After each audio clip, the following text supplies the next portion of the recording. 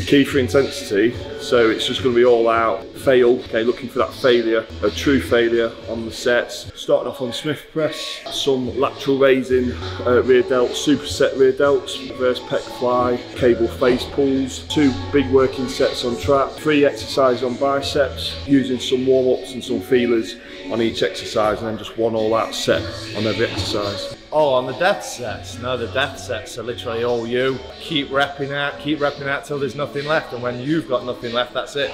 You're absolutely done. And that's what Laurie calls the death set.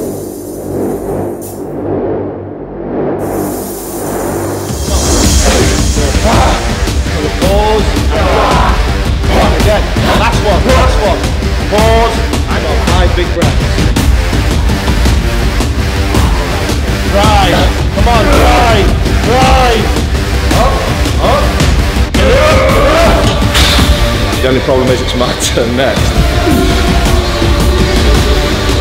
Push. Ah, come on. Ah, come on. Come on.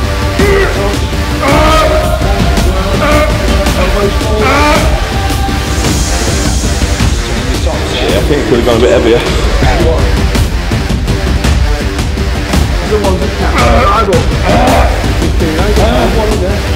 Squeeze them up. Squeeze them up. Come on.